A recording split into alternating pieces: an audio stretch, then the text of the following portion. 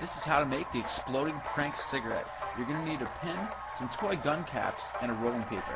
First take the pin and poke a hole through five toy gun caps. Use the pin to scoop out the powder onto the rolling paper.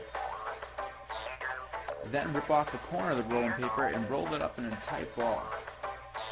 Shut it up with something that looks like this. Now use your fingers and roll some of the tobacco out. Take the pin and stick the load down into the cigarette and slip it into the pack to someone you know.